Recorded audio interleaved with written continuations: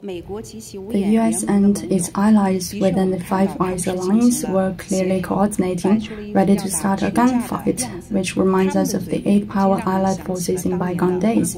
But clearly they are mistaken about the time they are living in 2021, but their perception of China remains in the late Qing dynasty at the end of the 19th century. They don't understand China or the world.